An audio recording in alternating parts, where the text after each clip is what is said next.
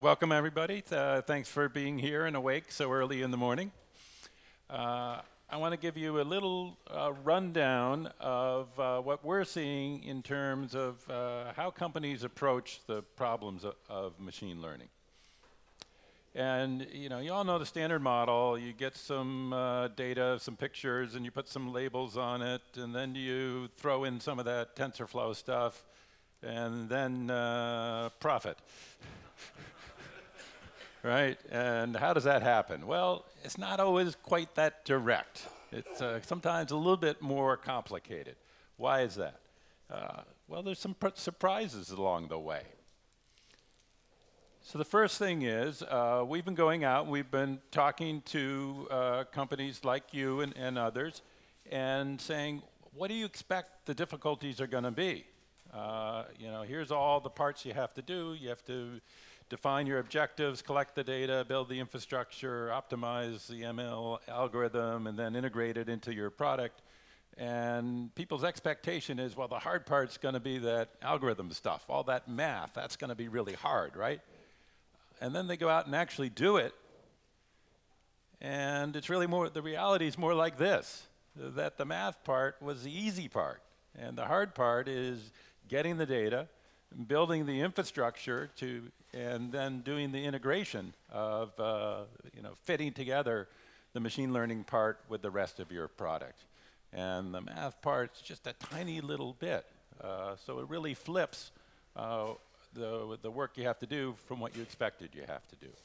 So what we're, we're trying to put together is a methodology that matches this reality rather than matches the expectation. Here's some of the pitfalls we see over and over again. Uh, so one, everybody says, well, machine learning, things will go faster, better, cheaper, it'll all be good, right? And sometimes it really is. And sometimes you do things hundreds of times faster than you could have otherwise. Sometimes you do things that you just couldn't have done at all without machine learning.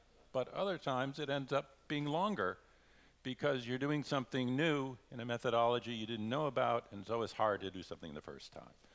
Uh, there's issues of do you have the right data and have you curated it properly and so on. Sometimes people forget that. Uh, this idea that it's all or nothing, that you're either doing machine learning or you're doing manual, uh, that's probably not the, the, right way to look at it. The way you should be looking at it is, is what's appropriate for what sub-problem. And don't be afraid to say uh, it's not 100% automated, that there's still some humans in the loop at the appropriate point. Uh, figuring out what the right product is, right? So it's tempting to say, here's a metric that I can optimize up to 99%, but it doesn't help me build my product. That's not what you want to optimize. Um, and then uh, the, the, questions of what you're going to do uh, in-house, what tools you're going to use, and what level you're going to use that at. And there's a lot of choices here. You can build everything by yourself. You can take these pre-trained models that various companies are offering, and figuring out that right mix is has been another stumbling point. Now, I want to just step back a little bit and uh, look at the difference between traditional software and machine learning software, right? So in traditional software, we start off and we got a, an engineer or a team of engineers uh, sitting at their desk, and they get an idea, and then they manually code all the decision points of every possible thing. We have to describe to the computer what to do. And the difficulty is that there's a lot of different paths, and you have to make sure everyone works. And that makes uh, traditional software uh, mathematical science. We're basically trying to prove our programs correct. Of course, in the real life, we only do that for little toy programs. We don't actually prove our real programs, but we're aiming in that direction. And we use Boolean logic, and we strive for certainty. And machine learning is quite different. So first of all, it's not the programmer who's writing the program, it's the computer that's writing the program. There's still a place for the human, and that's to be a teacher, to load in the data and teach the system how to learn. And that makes machine learning, uh, uh, makes software an empirical science. So it's more like doing biology than like doing math. You, get, you make theories about the world, you test your theories, they're never going to be quite precise. Uh, they're not logical and Boolean, they're probabilistic. And you embrace the uncertainty rather than trying to eliminate it. So it's a completely different mindset, and it can be hard for people to get used to that change. Now, we've also, uh, in, in, addition to the way you look at the problem, we've also uh, made progress in the methodology for how we, we build products. So we started off, software was kind of a studio or a, an artisan field. And here's two guys named Steve in a garage building a great company by themselves. And of course, they had a lot of help later on. But you started out, you had very small teams. There wasn't much methodology. They did it all by the seat of the pants. But then we realized you can only get so far with those small teams. And so we invented sort of the factory model or the assembly line model, where we said, how are we going to make teams of thousands of software engineers work together? Uh, well, to do that, we need to impose a lot of uh, dis discipline and methodology. And we built that up over basically a, a half century. But now we're saying maybe we don't need that factory model, and maybe it's more like a school model, where now we're going to have teachers teaching the, the uh, computers what to do. And we're going to need a new methodology for doing that. So what are the tools we have along the way? So I'm old enough that when I started programming, I actually had one of these, and you, you drew out with a pencil little flowcharts. Uh, I never thought that was useful, but uh, you know, you had to do it if you wanted to get an A on your homework, so I said, okay. Uh, but then over time, we built up a much stronger set of tools, and now we have all this great stuff and we have educational materials and methodologies, and uh, programmers can be more productive because we have this uh, half century of building up a methodology. Now, in machine learning, we're just getting started. So we're more at this level of tools, right? We have these uh, ancient tools, and yeah, they're going to get more sophisticated over time, and you can see the beginnings of uh, there's a hammer there and a saw and so on, and, and you know they're going to get better. But we're really just right at the beginning. And yeah, we do have some, some cool tools that do help. Here's a TensorBoard. Uh, but we, we haven't built up the whole ecosystem the way we have for traditional software. So how are we going to get there? How are we going to have a methodology for machine learning success? Well, that's one of the things we're working on. I want to point you to uh, this blog we've been working on called The, the Lever, which, which helps move, move things faster. Uh, and go through uh, a couple of the, uh, the blogs we have, and you know we, we don't have to read all these words right now, but, it, but it'll be available and, and you can go and look at it. Uh, so one is this idea of experimentation, of saying we don't know exactly where we're going, but we shouldn't, shouldn't worry about that.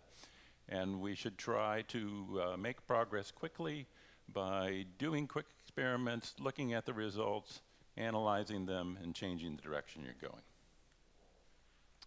This idea of how product managers integrate with machine learning is uh, different. Because product managers are, are used to a discipline of saying, this is what we're going to build, here's how we're going to break it into pieces, I know how long it's going to take to build each of those pieces, I can envision the final product.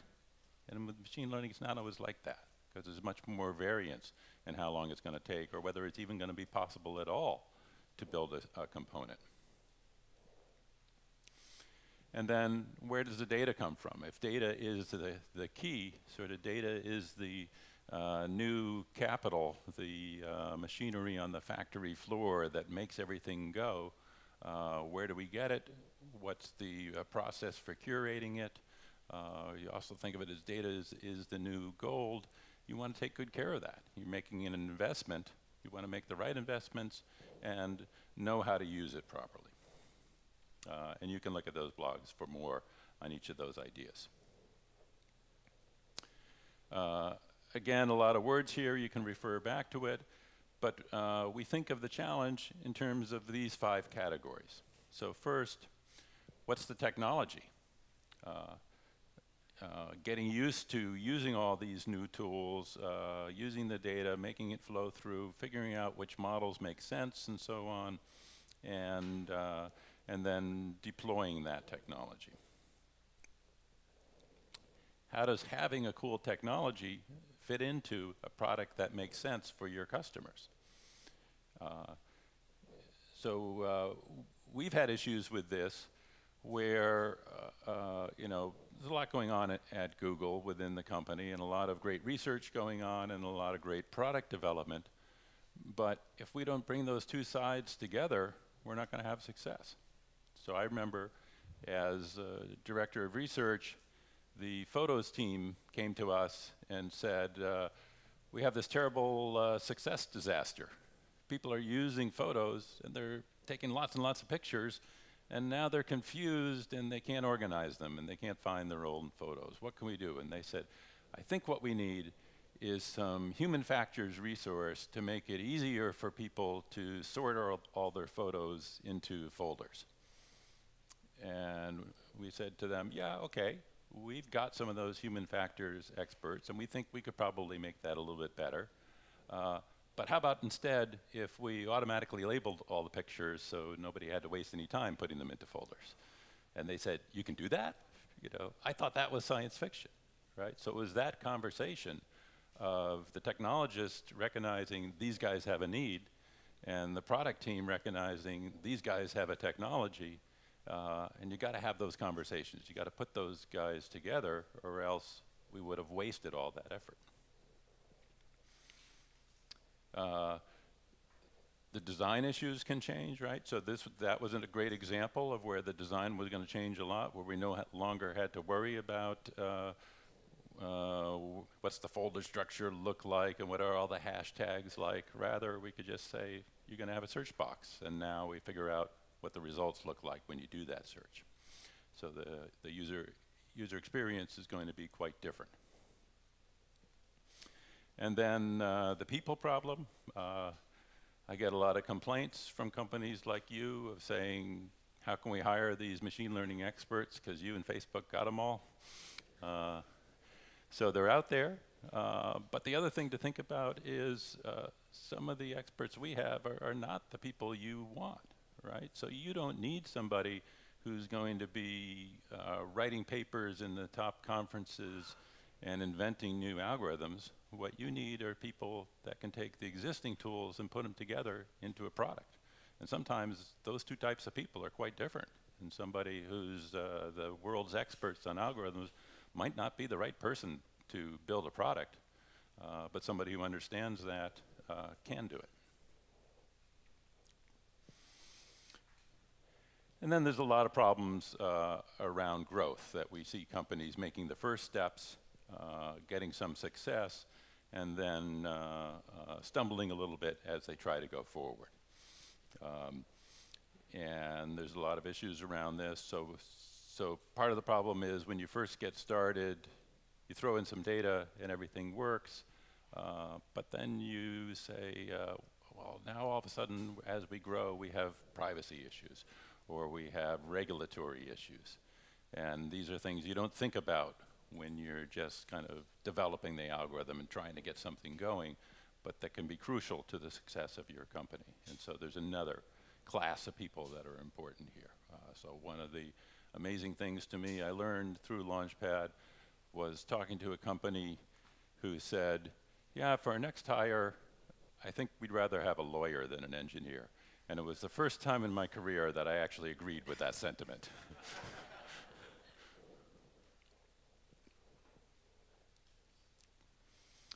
Okay, uh, so I told you all the issues, and so far it's been kind of negative, it's been tough, uh, but there are cool things you can do. There's just an amazing number of things, and there's more coming. Uh, so I'm going to go through some of them. Uh, I chose some of the, the engagements that we're involved with. I, I didn't choose any of your guys' companies, because that would be like, you know, saying which one of your kids is a favorite. I can't do that, right? So, so left you guys out. Here's uh, a, a, team I met at Stanford of uh, astrophysicists, and they're tackling this problem called gravitational lensing. So what does that mean? So there's a galaxy someplace way out there, and light is shining from that galaxy to Earth, and in between them and us, there's another galaxy, and that galaxy is heavy, and so that actually bends the light. And if you could measure exactly what was going on, you could essentially that'd be like putting this galaxy in the middle on a scale to see how heavy it is to bend the light, and then you can learn something about dark matter and all that cool stuff that these guys care about.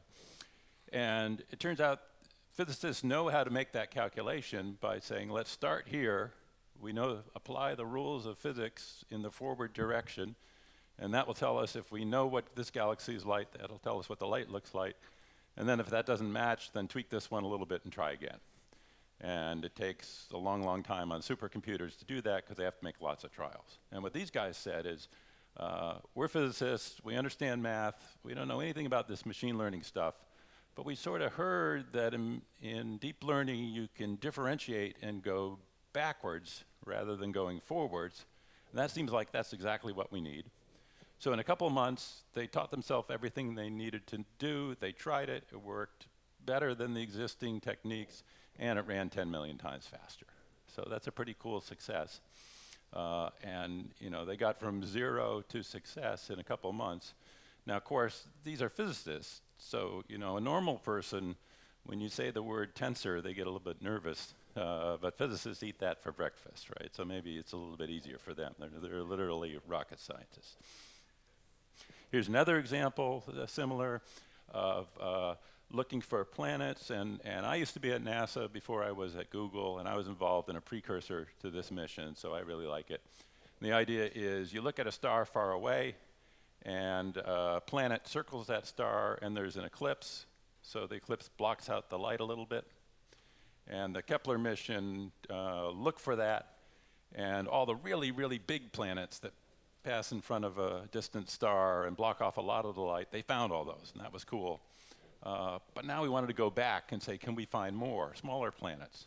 Uh, and the existing techniques didn't do that because there's a lot of uncertainty. It's not just uh, uh, one factor. But the machine learning techniques were able to pick those out, and now we found many more planets than the ones that had already been found. Uh, and I just saw this morning there was, there was another similar kind of thing with looking at old data where the uh, standard techniques were able to pull out the easy examples, then going back with machine learning and finding more examples. Uh, we've done a lot of work in uh, medicine. Um, this was a problem of looking at the retina and diagnosing eye disease, and we showed we can do that better than regular doctors do. Uh, but then we wanted to say, what else can we do with that? And we said, uh, well, maybe we can detect high blood pressure. It turns out, yeah, we can do that really well. And then the engineers kept going, they're on a roll, and they said, uh, what other columns do we have in the database? Oh, one of the columns is uh, sex, let's see if we can predict that. And the doctor says, well, hold on a minute, there's no difference between a male and a female retina, you're not going to be able to predict that. And the engineers said, well, if that's so, why did I get 95% accuracy? right? And the doctors still don't know why we're able to do that. Their theory of the eye was incomplete. Uh, and the medical applications go all the way down to high school students, right? So I talked about rocket scientists uh, that have uh, two decades of experience. Here's some kids who don't even have two decades of being alive, uh, and yet they were able to contribute to this. Uh, it's more than just sick uh, people, so we can also look at sick plants. So you, you go out into the rainforest and detect, uh, you know, some browning on the leaves or something. And if you're an experienced farmer, you know what to do. But maybe you're not an experienced farmer, or maybe through climate change you're getting a different sort of disease that you haven't seen before. Uh, so we can help with that. And one of the real challenges here was to say, uh, well, we can't put a supercomputer out into the field, uh, and we probably don't have any uh, Wi-Fi connectivity, so it's got to run locally on the phone. And so one of the big challenges is to say, how can we take these compute-heavy applications and scale them down to the size of a phone and make them still work? And, uh, that we were able to do in this case. Uh, here's another one, and you know, every company's got to have uh, an elevator pitch, right? You know, you invent a company and you say, what's your company? And the answer is, uh, It's like Tinder, but for cats, right? So this company called Connecterra, it's got an elevator pitch, which is it's like Fitbit, but for cows. Uh, and that seems silly, right? Do cows really need to boast about how many steps they did today? No, they don't. Uh, but the farmer really wants to know what's going on. The farmer wants to know, are any of my cows sick? Are any of them doing anything unusual? Are you know, how much water are they drinking? How much are they walking around? Where are they going from here to there? And you put a device with the GPS and, and accelerometer on it, and now you can get the total picture for your full herd. Uh, here's another example uh, uh, where we're out with where there's no uh, Wi-Fi connectivity. So we wanted to detect illegal deforestation. So uh, you know the main thing you can think of, and there's, there's, a couple different things going on, but the main one is, can you hear uh, the sounds of saws cutting down trees? Right. So the power saws, they're loud, but there's nobody there. So you put a lot of sensors out into the field. Which the sensors basically you see here it's a cell phone with some solar cells to keep it powered over time. And then uh, the phones form an, a mesh network with each other, and they're listening, and they uh, alert us to when something's going on. Uh, captioning videos. So on the one hand, we've been doing speech recognition for a long time. This should be easy. But on the other hand, uh, captioning videos is a little bit harder than regular speech recognition, right? So if I'm talking directly into a microphone and it's just one person talking, uh, that's a pretty easy problem. But if there's a video and there's lots of things happening, multiple people talking at once, car crashes and so on, bad microphones and so on, it becomes a lot harder and 100 different languages. Uh, so we wanted to tackle that and make it all automated, and we, ha we had success in that field. Uh, interfacing with the hardware, right? So uh, I take a lot of pictures with my phone. I also take a lot of pictures with a big, heavy DSLR. And one of the reasons you want a big, heavy len lens is uh, that allows you to uh, blur out the background. Uh, but we can do that in software as well. And, and here you see examples of being able to do that. One more example, we worked with the uh, Geena Davis Institute. They're interested in uh, bias in the film industry and so we uh, built a system that would analyze who's on screen for how long and who has what speaking roles, and then say, is that uh, fair across male versus female? And here we see uh, basically the chart is saying in, in, movies for which the female is, is the lead, uh, the female appears more often, but not by that much. Whereas in movies where the male is the lead, it's, it's much farther skewed. So we've identified bias here, and you can break that down into components and so on and, and see more. And that was all done automatically, whereas previously they're making very slow progress in hand annotating uh, every frame. We're able to do that all at once. So let me stop here and open it up for questions. Uh, but I just wanted to, to give you the idea that there is a, a, powerful opportunity here. There's so many things you can do, and we have a set of tool set which is continuing to evolve, and you've got to kind of meet that halfway. You've got to be able to say, I want to, I want to adopt this technology and this methodology, and uh, there's going to be some bumps along the way. I'm going to be discovering a lot, some that's new to me, some that's new to everybody. But with that, uh, we can see a lot of opportunities for making success and doing things you couldn't do otherwise. So why don't we open it up uh, for questions now?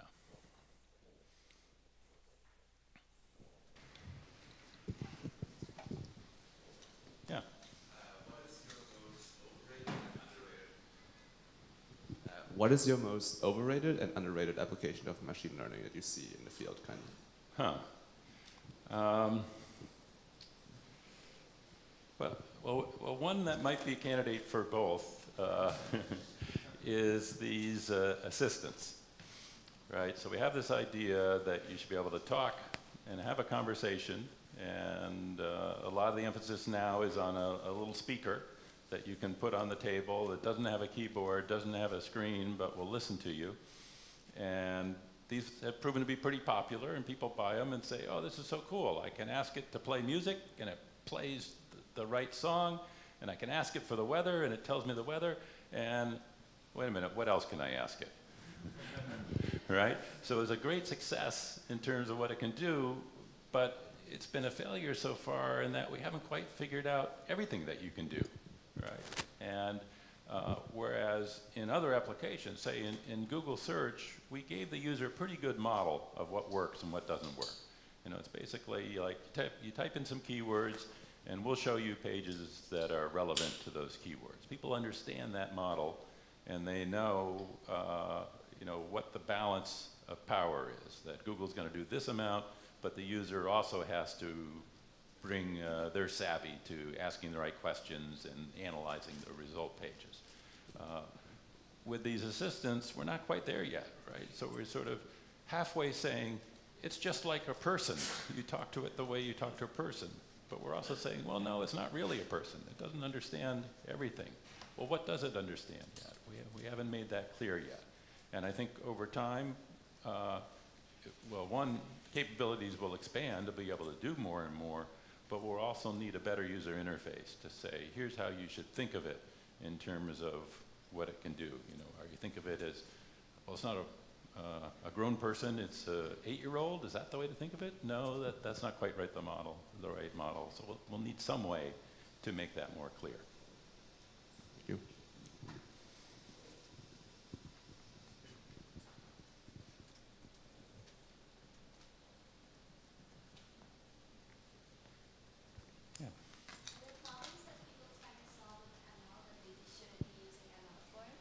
Yeah, so, so are the problems that people try to use machine learning and, and they don't have to? Uh, that's certainly the case, right? And uh, there are some advantages to uh, keeping things as simple as possible, right? So don't employ a heavy-duty technology when, a, when an easy one would use. Uh, there's certainly a lot of examples where uh, the benefit is so small that it's easier to, to do it by hand, even if it's not as automated, and you know maybe there's a cost to doing it by hand, but still uh, that's easier than investing in a big effort. Uh, there's also kind of the explainability type issue. So I know in doing Google search, uh, oh, historically we were a little resistant to ha handing too much control to machine learning. So we always had this idea that uh, lots of factors are involved in search, and we're going to sort of invent new factors, uh, a thing on the page that you should care about, or a way that the user interacts with the page and their history and so on. Uh, that's data. We're going to use that data to improve the product. Uh, and we would often do things like say, uh, well, uh, we figured this out, now we're going to add this in. How much should we add it in? Well, the machine learning algorithm will figure out the right values of those parameters. Uh, but we were always reluctant to say, let's have the whole thing be, you know, one deep learning network, the way we do in machine translation, say. Uh, and I think there's a couple reasons for that. Uh, one is that we're kind of creating our own tra training data as we go along, right? So there is no uh, natural data out there, right? When you want to do image processing, there are natural pictures out in the world, but there are no natural examples of searches and results other than the ones that we create. Uh, so if we're training on that data and then we change what we're doing, uh, now the data is no longer valid. And the other thing th that concerned us is we felt like we had to think ahead several steps because uh, you know in the in the early days we felt like our job was to observe the web. We were like a library catalog. Somebody else publishes the stuff and and we just catalog it.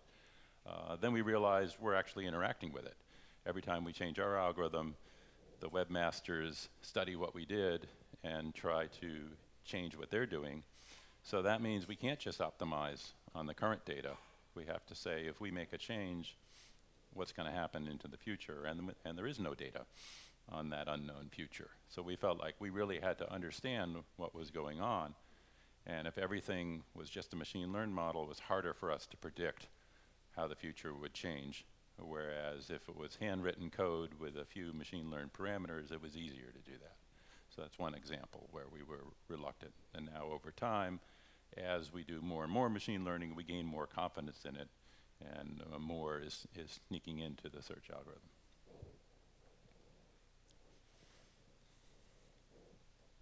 Yeah.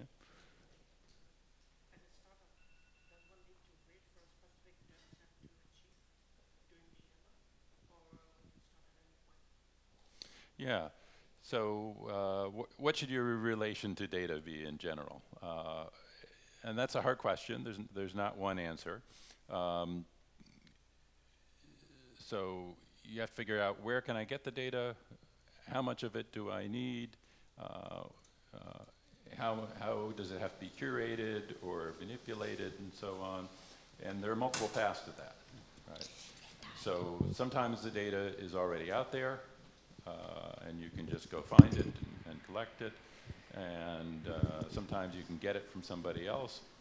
Sometimes you have to create it? And there's lots of examples where you create an initial product to get some interaction with the users, and then you kind of bootstrap on that, right?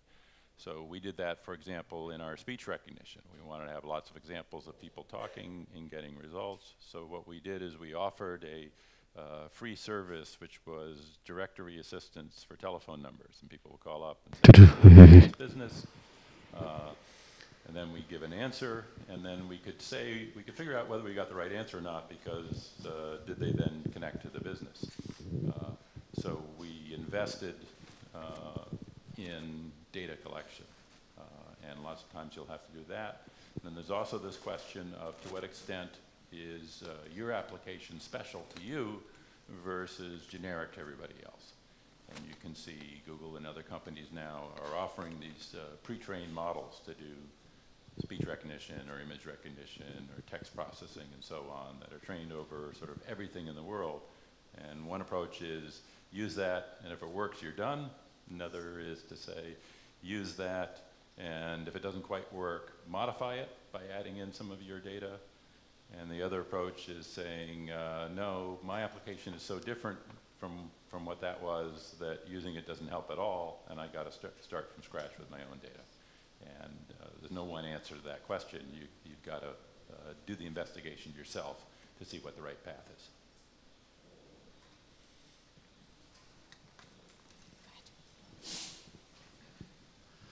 Um, so on the interpretability piece, what do you think about machine learning as it relates to the advance of human knowledge? As in, in the retina example, the, the doctors have the results as if their model of the eye improved, mm -hmm. but it didn't in fact.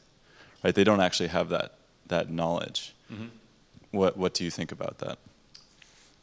Yeah, uh, so that's a good question, right? So um, let's see. So this this gives you hints, and the and I think there's lots of ways that uh, we do experiments. We get some data, we don't quite understand it, and then you have to go back and create new theory. And I think it's always like that. And there's this leapfrogging of uh, experimentation and and theory. Uh, and maybe what's different now is machine learning gives you a much more powerful tool to do the experimentation. So maybe in the past, uh, you know, uh, there's a lot of clever humans around, and theory may have led experimentation more often than not. Uh, but lot, you know, lots of discoveries have always been made by somebody saying, "Huh, that's funny," rather than saying, "I have a theory." Of saying, you know, here's some unexpected results. Now, can I go explain that? Uh, and then the so machine learning will help trigger that curiousness can it help do the explanation itself? I, I, think that's an area where we need a lot of improvement, right? And so I showed like some of these charts where you could uh, uh, look at your space of data and decision boundaries and so on, and that gives you some idea, but we need a lot better tools to, to have a better conversation uh, uh with the machine learning algorithm to understand what it's really doing. And and then I think the other issue is people get confused sometimes with this issue of understandability and they blame the algorithm when they should be blaming the problem, right? Uh, and so things that are understandable are things that can be described in simple terms, right? So if I want to uh, balance a checkbook, uh, I know how to describe what the right answer is, and I know how to write a program to do that. And maybe it's complicated to get it exactly right, uh, but inherently that's a simple problem, and so the code to solve it should be understandable, regardless of what programming language you write it in or, or what system you use to write it. Whereas, you know, recognizing somebody's face, that's just an inherently hard problem. Uh, hard in, in the sense that there's often no definitively correct answer. Here's a face, who does that belong to? Uh, you know, experts can disagree on what the right answer is. There is no one right answer. And then secondly, because the process for, for discovering it is unconscious. There is no expert that can uh, tell you, this is how I made that decision. Rather, it's, uh, I don't know how I, I did it. My subconscious mind did it rather than my conscious mind. And so people blame the machine learning algorithm for not solving those two problems when it's not the algorithm's fault. It's the fact that the problem was difficult to begin with.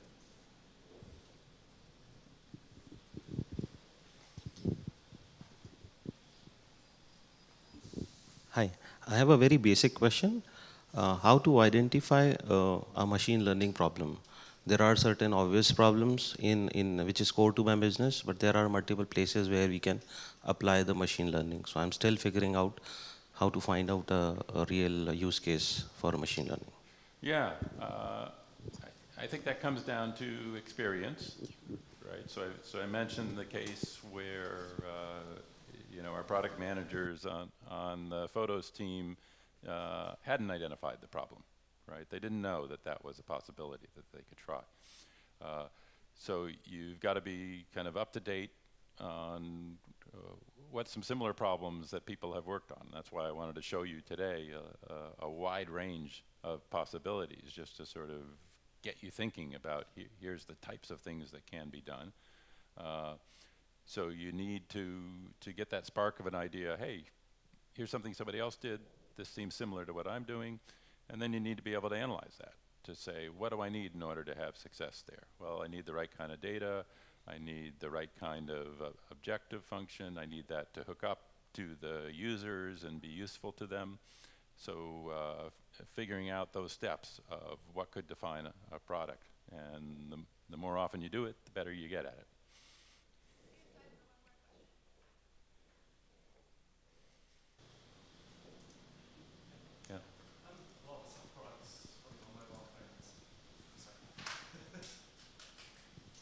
How, how, often is it viable to actually reduce the model down to something that runs usefully on a mobile phone versus being too complex and needing to go off to the cloud to compute? Yeah, uh, so we're definitely spending a lot more time doing that.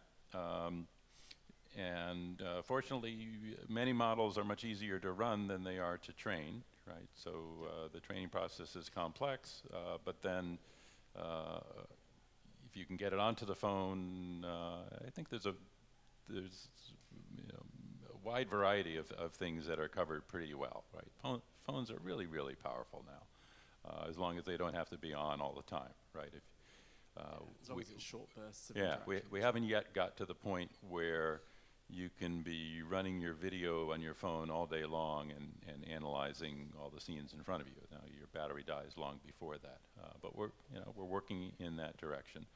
Uh, so I think you should say by default the answer is going to be yes, I can make that work. And then the question is, how do I make it work?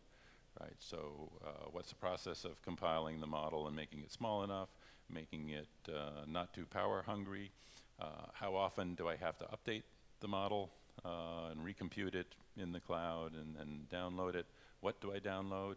Uh, what are the uh, privacy concerns of you know? So one advantage of having a model that runs on the phone is that you can be Im immune from the liability of holding somebody's private data, right? So if it's only on their phone, then it's their problem and not your problem, and you can't be sued, you can't have that data recovered and so on. Uh, but the disadvantage then is you aren't, uh, if you aren't collecting the data, you aren't taking advantage of uh, possibility for improvements. And so there is a lot of research now on ways in which uh, you can share parameters for your network without uh, revealing any of the secrets of the data underneath. And I think those are the real issues of, of what's the architecture of what runs where and when does it get updated and how does the data flow. But you should probably assume that if I can solve those problems, I can get it to run on the phone. Okay, yeah, thank you.